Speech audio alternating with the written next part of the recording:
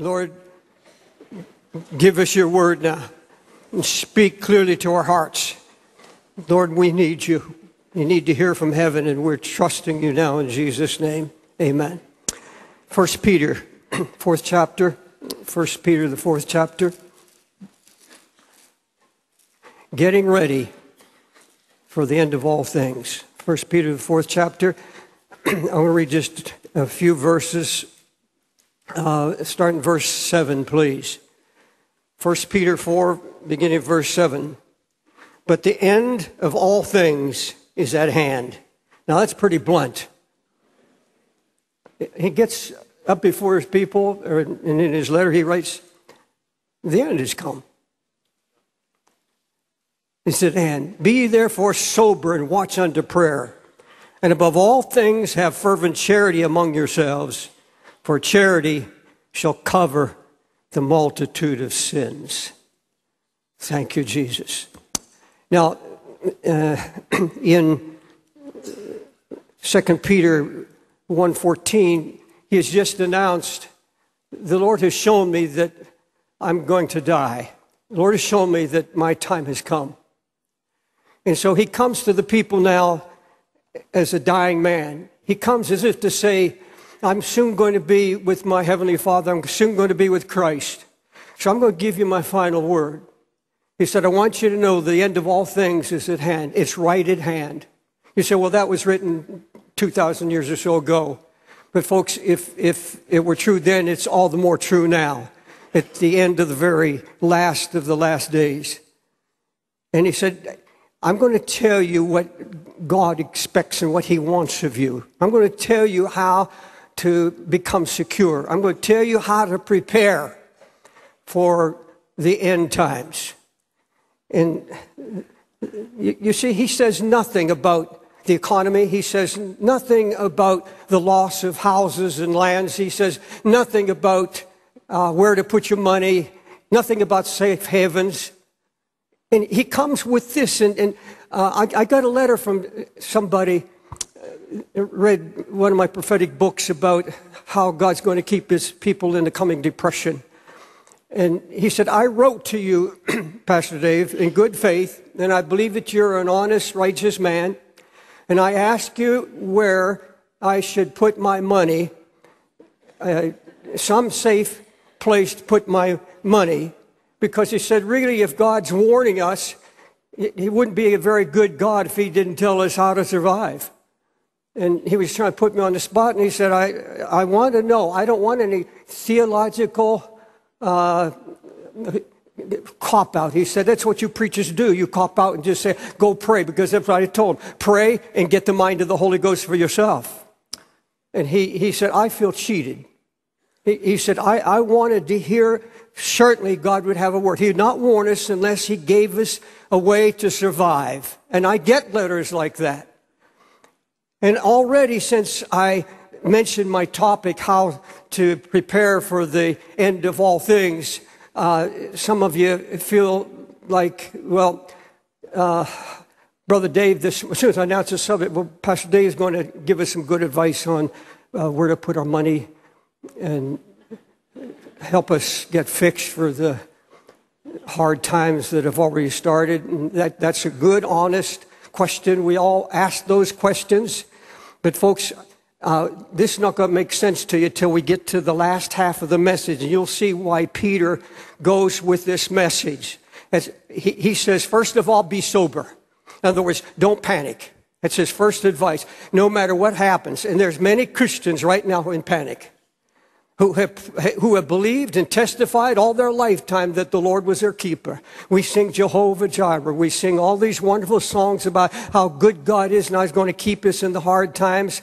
And it, there is a human nature in us that responds, and we, we have to bring it under the word. We have to bring it under the control of faith. But He's saying, be sober, first of all. Be sober. And the second, He says, go to prayer.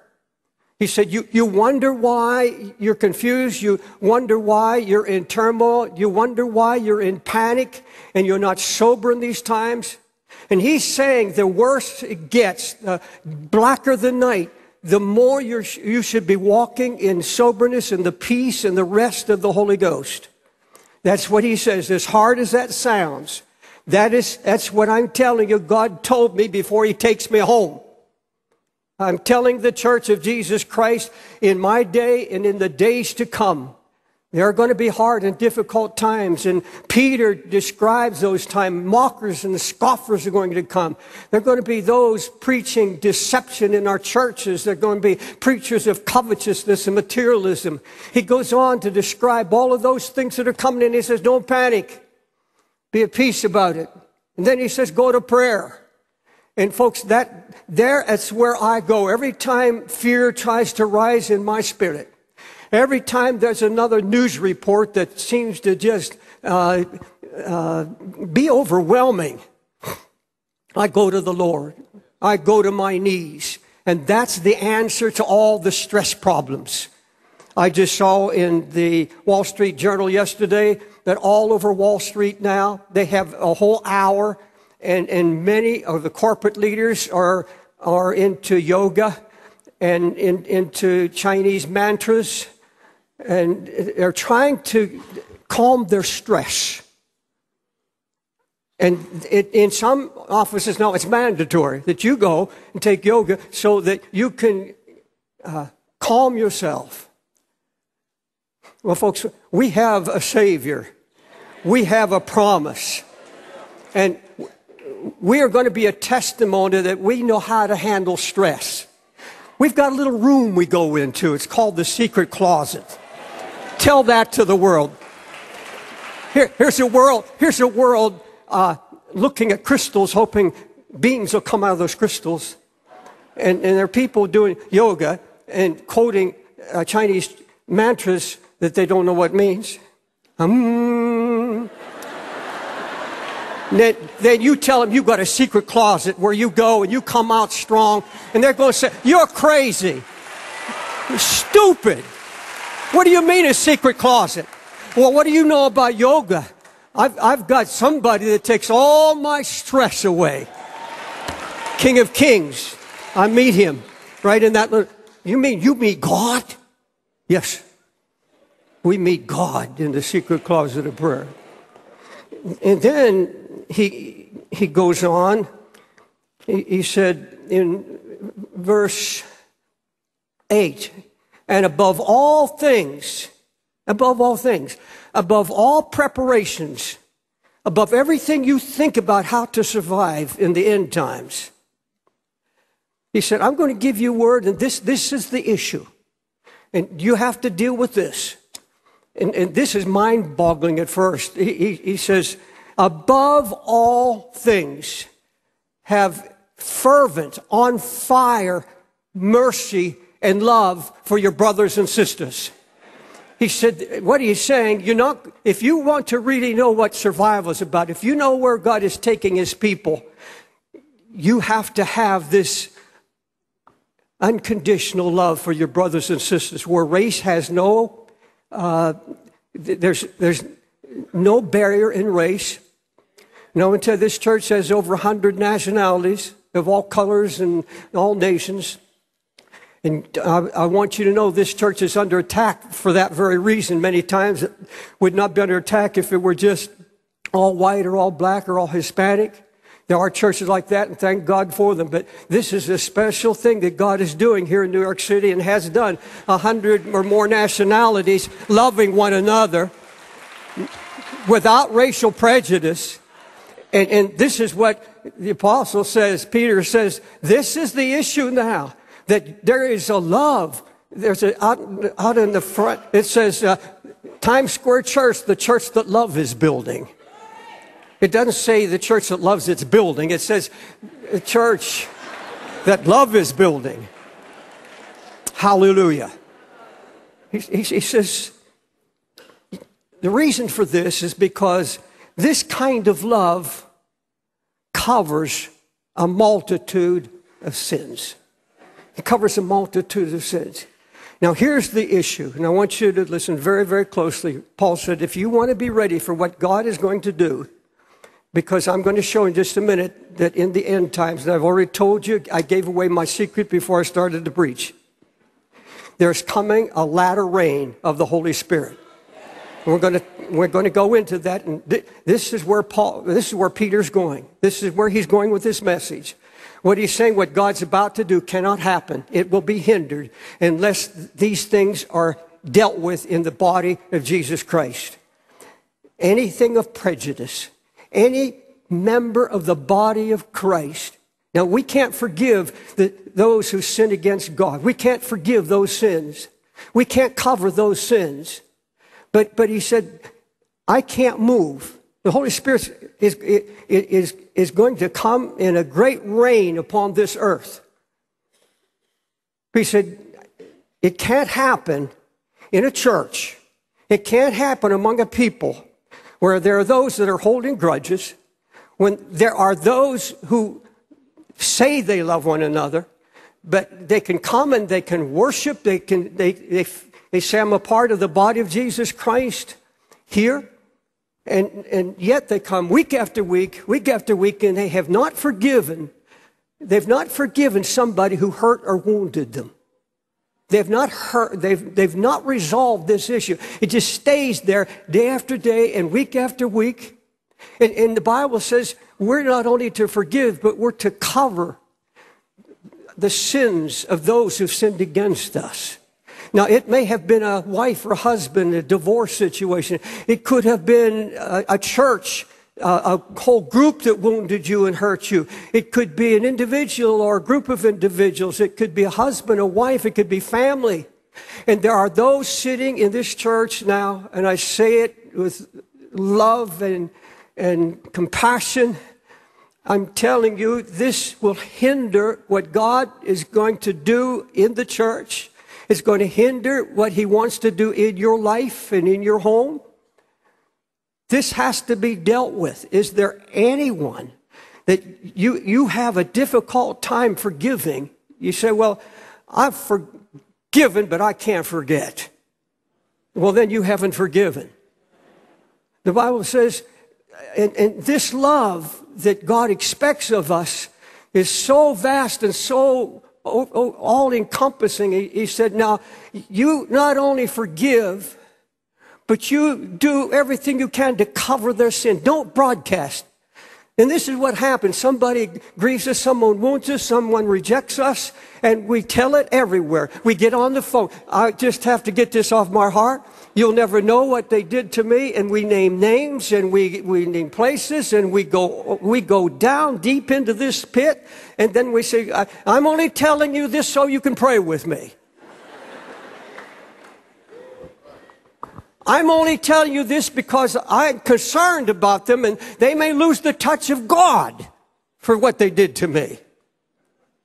You should be more concerned about whether you lose the touch of God because you didn't cover the sin. I can cover anyone who sins against me. I have that authority. I have, in fact, I'm commanded to do just that. And that's what the apostle Peter is saying. This love, you want to be ready for all things. You'll be ready for the coming of the Lord. You want to be ready when the bottom drops out of everything. You want to be ready? Make sure that you have nothing hindering the flow of the Holy Spirit. There's something wonderful coming. I don't want to be left out. If you have wounded me and I don't know about it, if you talked about my, me behind my back and, and you wounded me, I, I, I'm glad I don't know, but I forgive you. I don't, I don't, I can't name a grudge I have against anybody because I know what happens. I know I lose the anointing of the Holy Spirit, and I know that, that I have uh, I have roadblocks. I've got stumbling block in my life. You should be able to sit in this church today and, and, and go over in your memory of, of that thing that is in your heart. And some of you are visiting here. God's speaking to you too. Who is it? Who is it that you have such a hard time getting that out of your system? You, I just can't. I talked to a pastor recently. A group of ministers really hurt him and uh, I was aware of the situation, hurt him deeply. And I, I, talked to him. He said, You know, Brother Dave, I, I've been preaching for years, but I just can't forgive them. I can't do it. And he said, My wife will never forgive. And she was in deep bitterness. This, this, he, he said, You want to be ready? There's a context here in which, a wide context that uh, Peter's talking about. He, he's seeing something coming and he wants the church to be ready. Now, if, if all, all you want is for God to give you food and shelter, now, as a father, I want that for my children and grandchildren, and, and, and I want Him to provide all my physical needs. He's promised to do that. You see, Peter didn't go there. He didn't go there about advice on, on physical preparations. He didn't go there because, you see, he knew poverty. He knew what it's like to not have a, a cent, a shekel in his pocket because the only money he had at times was came out of a fish's mouth. This man had one change of clothes. He had one pair of sandals. This, this man had proven God's faithfulness, so that wasn't an issue with him. That, that, he can't even imagine Christians not believing that the Lord would provide. I've been down that way. He said, This is the preparation I want you to talk about. I, I want you to focus on. There's an issue here. I, I, I want you to look into your heart, and I, I, you're to love even your enemies, the scripture says. You know, Jesus didn't give advice on how to prepare physically other than in Jerusalem. He said, when you see the armies coming, flee from Jerusalem. You don't find him that. He, he says, don't give any thought about tomorrow because it's going to take care of itself. And I'm going to take care of you. Don't worry about what you're going to eat, what you're going to drink, or what, how you're going to be clothed. Don't give it any thought. You won't find Jesus going there. You won't find Peter going there. You don't, the Apostle Paul doesn't go there. They had proven God. You have proven God already. You have proven God faithful up to this hour. He's never failed you yet. He's brought you out of every situation. He's taken care of you financially. You are not in poverty. You have a roof over your head. You have food on your table. And He's going to see you through.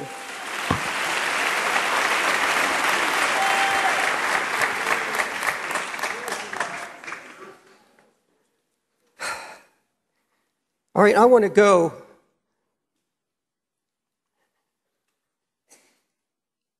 into this matter of the Spirit coming down. And this is, this, this is the context in which Peter is speaking now. He said, There's a great rain coming. You'll find that uh, all through the New Testament, you find it in the prophets, especially. Uh, there's a prophecy in the Old Testament that there's coming, there's been a former rain and there's a latter rain. The Bible talks about two rains. And, and Moses told Israel, he, he, said, there can be no harvest unless there's a latter rain. The first rain, the early rain, came in the spring, and it watered the seed and the blade and the grass or, or, or the forming of it. But he said that it comes uh, before the harvest, before the full grain of corn, there has to be another rain. It's called the latter rain. Now, years ago, there was a uh, uh, Pentecostal movement called themselves the latter rain. Now, some say they got in. I don't know all the circumstances or the, the history of that movement. And they said it went into error. But they, they, they had a truth. They had something from the heart of God. And I believe he's going to restore this truth to the church of Jesus Christ. Moses said, there's an early rain, but there can be no harvest until there's a latter rain. Here's, here's the scripture. He will give you the rain in your land in due season, the first and the latter rain, so you may gather in the corn, the wine, and the oil. He said, you'll have, you're going to have a rain that uh, ripens the harvest. And beloved, the early rain came at Pentecost in the upper room. That was the rain that watered the seed of the word, that, that watered the message of Jesus Christ, and it began to grow and spread. But now, folks, in the last days, when the world is trembling and gross darkness covers the world, there is no way Jesus would come without. Now, he can come at any moment. but he promises there will be a latter rain. And he says, ask rain in the time of the latter rain. We're to ask rain, the prophet said. You're to believe God and ask him and believe that this latter rain is promised in the scripture and that it's to come. The prophet Zechariah saw the outpouring of the Spirit in the last days. He said, ask ye the Lord rain in the time of the latter rain, and the Lord shall make bright clouds, and he will give you showers of rain, and everyone shall have grass in their field. Everyone shall have grass. There's going to be a harvest. He said, the field is going to be ripe. Jesus said they're white unto harvest. Now, Satan knows this. He knows what is written in the scripture. He knows that there's a tremendous, incredible outpouring of the Holy Spirit before the harvest. And he's going to come against the church of Jesus Christ, knowing what is coming. He saw what happened in the early rain. He saw the, the growth of the church around the world, every kindred and every tongue and every nation and uh, he saw the power of the Holy Spirit. He saw what happens when the Holy Spirit comes down. And so, in the latter rain, Satan knows what is about to happen. Folks, there, there, there's, there's no way that the Lord is going to take his church out of this world limping and broken and fearful and just broken in spirit and mind and soul. No, no, no, no. He's not coming and allow Islam to take over the harvest. He's not going to let anybody. The harvest is his. The harvest, the Bible said, is the end of the world. And we've come to the end of things. We've come the beginning of the end. Now, I don't know how many years. I don't, I'm not going to go to the prophet, prophetic times. I don't know that much about what happens after Jesus comes. I've, I've not been a scholar in that at all. But I know from what I'm reading in the scriptures, and the more I read, the more my faith rises. There is a coming outpouring of the Holy Spirit beyond Pentecost, beyond what happened in the upper room. But you see, Peter knew what had to happen. In early day Pentecost, they had what they call waiting on the Lord. They, in the upper room, they waited on the Lord. Now, they weren't waiting just for a calendar date. Pentecost was fully come. But God was doing something. He's doing just what Peter's talking about. There had to be forgiveness. Peter had to be forgiven because he wounded the body of Christ. He wounded every one of them. And, and, there had to be an outflow of love in that upper room. And God's dealing with things. Peter could not stand up there and be anointed of the Holy Ghost. He can't stand there if people later, some of the apostles, uh, and there's James and John who, who had boasted they were better than the other disciples and had this pride and they're sitting there. They have to be cleansed. They have to be forgiven by the body of Jesus Christ and their sins have to be covered. They have to be able, those men have to be able to look at Peter later when the Holy Spirit gives him the authority and he preaches what the Pentecost is all about. And there can't be something in their heart was, who made you the leader? Who made you the pastor? Who made you? Who gave you this special anointing? No, they sat back. They didn't care who got the honor. They knew the Holy Ghost was there and they were covering. Nobody dare speak against Peter because Peter is safe now in the house of God. He's among people who don't blab what Peter did. Nobody's talking about it in this upper room. They're talking about the Holy Ghost and they're getting free because they're loving, they're forgiving, and they're covering.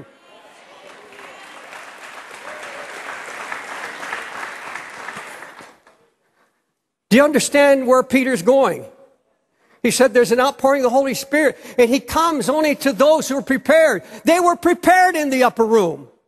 Oh, folks, I still believe on waiting on the Lord. Yes, the Holy Ghost was given, but there's something about waiting in the presence of the Lord where He's allowed to deal with these issues in our heart and so we can have this forgiveness and we, we, we can have this strength and power. It takes power to forgive. It takes even more power and grace to cover somebody's sin after they've wounded or rejected or hurt you.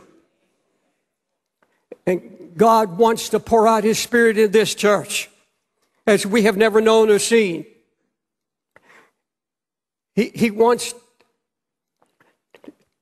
to save multitudes.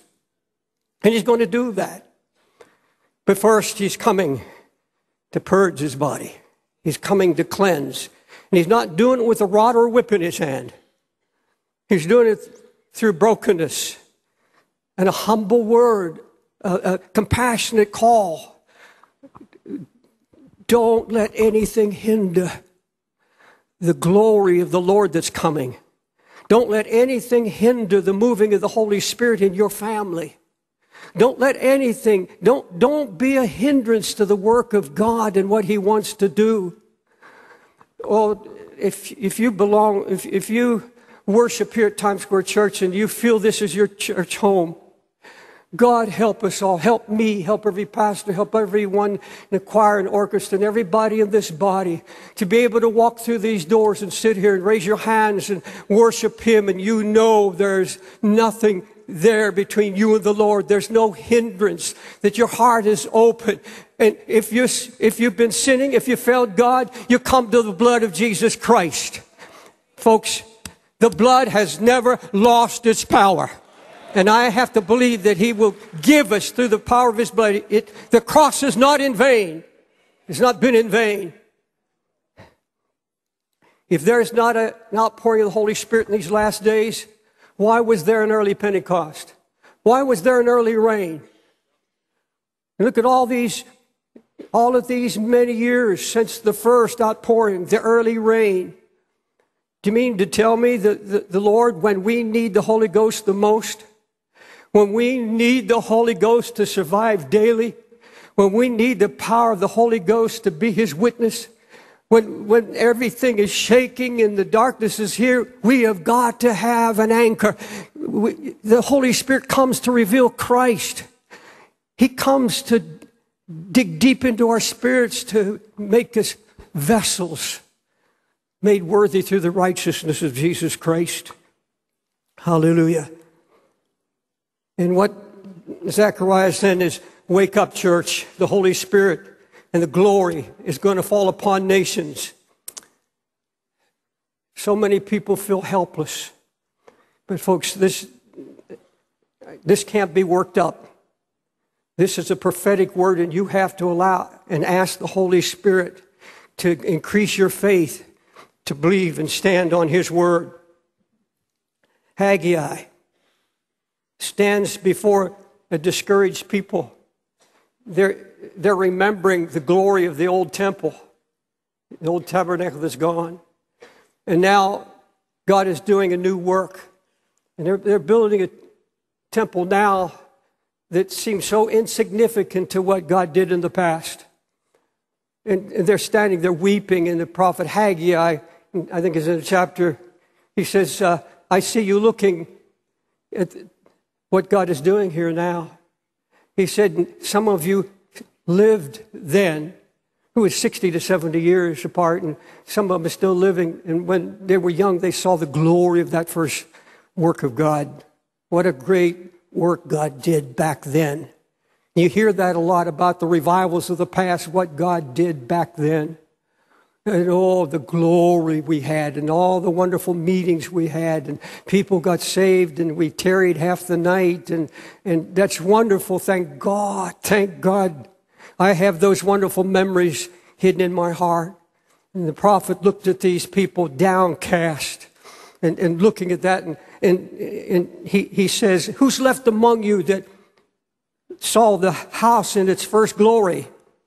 And how do you see it now? Is it not in your eyes in comparison as if it's nothing? Do you understand what this is saying? Some of us uh, who walk with God for years, we remember the movings of the Holy Spirit, remember the great things God did. But the prophet Haggai says, now look at now you're discouraged and you you you think that this is nothing and that, that we are we're just waning in zeal, that there's no glory left, and, and we've, we've been overwhelmed, overwhelmed with the darkness. We've been so overwhelmed with what is happening. We get overwhelmed at the fury of the devil. We get overwhelmed of the homosexual uh, militancy and, and, and our courts making laws that we don't agree with and never asked for, never voted for. And we, we get overwhelmed with the fury of Satan among us. We get overwhelmed with the darkness, overwhelmed with the thought we've sinned away our day of grace, overwhelmed with fears and doubts. And that's what happened. They're saying, in their minds, they're saying, well, this is nothing. We have nothing to rejoice about. God's not doing anything. This is so insignificant. Oh, Haggai says, Fear not. And God said this in Haggai 2 5. My spirit remains among you. My spirit is still at work. And then he turns to the people and says, I'm telling you, the glory of this house is going to be greater than the first house. The rain that's coming is greater than the early rain. There's a latter rain. So take away that frown. Lift up holy hands because the rain is coming and God's Spirit is moving. And I'm not going to let the devil let me be downcast. I don't want my eyes on, on what God is doing to say it's so insignificant. America has not sinned away its day of grace. The world has not sinned away its day of grace. The revival is just begun. The rain is beginning to fall. Hallelujah.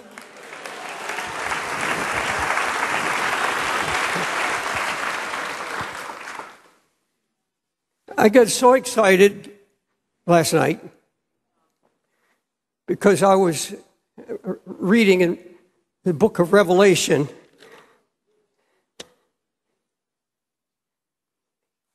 He said, first the blade, then the ear, and then the full corn of the ear. See, everything's ripening now.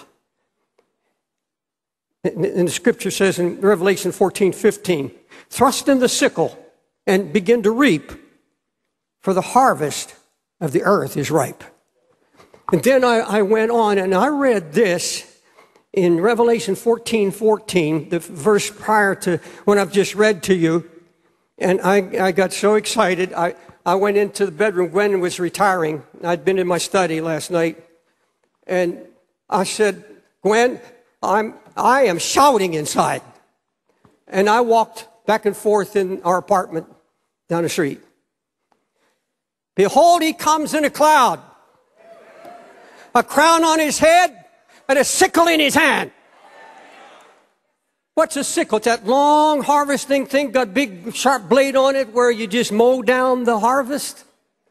And the Bible says of our Christ, hallelujah. He's not there just hoping the saints will hold on. He's not there surprised at the darkness. Behold, he comes in a white cloud Say it with me. A crown on his head and a sickle in his hand. That makes me want to jump. A crown on his head. Say it. A crown on his head and a sickle in his hand. Folks, it's harvest time. On Wall Street, in the Bowery, uptown, downtown, New Jersey, and all over this nation and around the world. Glory to God.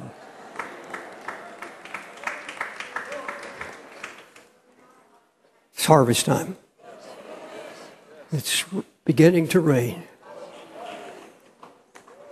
Hallelujah. Do you believe that? Will you stand?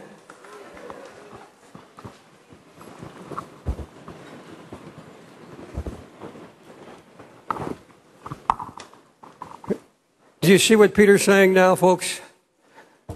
Remove everything that hinders because the glory is coming. Like you've never seen or know or experienced the glory of the Lord. And you know what that glory is? The manifest presence of Jesus Christ. We will know his presence as we've never known it. we will know Him as we've never known Him. And people are going to be open to the gospel. He's going to melt hard hearts. And many others He's going to bring through calamity where they have no place to turn but to God. And we will be ready with a message of hope and not despair. Now, in prayer, I asked the Holy Spirit how I was to close this service. And it's simply this the Holy Spirit made known to me, I don't know how many, but in the overflow balcony here in the main auditorium, there's some of you here that have a hindrance. This thing has become, uh, has a stranglehold on you. It's a root of bitterness, a root. And that root has to come out. And it's dug in, and you, you don't want it anymore. You want to be free of this. You've carried it long enough. And I believe God hears when we pray if we agree together. Two or three agree together concerning anything on earth, it shall be done to the Father in heaven. And I want to pray with you. I want God to remove that hindrance, but you have to want it. You have to humble yourself. That's right. Humble yourself. Not caring what anybody says or thinking. There has to be something rise up you and says, I want to walk out of this church today free. I want to walk out of this church without this chain on me, without this burden. You, you have felt and seen the agony. And, and if you don't forgive, it's going to come around and whatever you did comes back in like manner in another way and you face it again and again. Face it now and let the holy spirit bring you to a place of victory and free you. And you'll know a freedom and a joy like you haven't experienced in a long time. Uh, greg ministered to us for a moment in song and i want you to just step out if you don't know christ you can come now and he'll come and reveal himself to your heart and change your life. If you've been drifting away from Christ, if you're backslidden in your heart, follow these that are coming. And the balcony up there, just go down the stairs on either side and come down these aisles and main and come. Just humble yourself and say, Pastor Dave, I want you to pray for me. I want freedom. I don't want to carry this burden any longer. I know that takes a lot of grace, but it's that important. It's life and death. That's it. Just follow these that are coming. Help me to know that you are near. Do you know that He's near you right now? Do you know He said, My Spirit is with you? The Holy Spirit hasn't left you. The Holy Spirit brought you down to the aisle to the front of this church for prayer. That's the work of the Holy Spirit. You begin there thanking the Lord for that. Thank you, Lord, for your Holy Spirit Thank you for loving me and dealing with my heart. And look this way for just a minute. You took a humble step, boldly to step out and acknowledge your need. Now you're among friends, you're safe in this house. Nobody's wondering what your problem is or who you have a struggle with. Nobody's thinking that. They're just anxious for you to come through to victory, come through to peace with God. Will you pray this prayer with me before I pray with you? Lord Jesus, I do humble myself and I come to you for forgiveness. Lord, I have a problem. I have this root in me. I'm asking you to pluck it out. I'm asking you to forgive me and help me to forgive and cover the sins of all those who have hurt me. Lord Jesus, I want to be free. I want to be free right now. So I cast this in your feet. I give it to you. Cleanse me. In Jesus' name, I receive healing of every hurt and every root to be plucked out. Now, let me pray for you. Lord, I know you hear when we pray. I know you hear when we cry out to you in our need. And I pray, Lord, that you do that by your Spirit right now. Just move in and among us. He said, I'm among you. I, I, I am with you. He said, Don't be afraid. Don't be afraid. And Lord, we come fearlessly now. We come boldly to the throne of grace. We ask you, Lord, to help us to face this and say, I don't want it anymore. I don't want anything unlike Christ in me. I want to be free. I want the glory of Christ in my life. I want the outpouring of the Holy Spirit. I need a new baptism of the Holy Spirit. And I, I, I need this from you now, Jesus. We need to hear from you. Cleanse and sanctify. Change us, God, by your Spirit. Holy Spirit, you have come down and you are breathing on this church and you're breathing throughout the land. Hallelujah. Hallelujah. Now, just raise a hand or both hands to the Lord and say, I believe. I believe, Lord, right from your heart. I believe you, Lord, for cleansing and healing. Nothing between my soul and my Savior. Nothing between. Hallelujah. Now, you can be free right now if you receive by faith the word of the Lord. You can be free.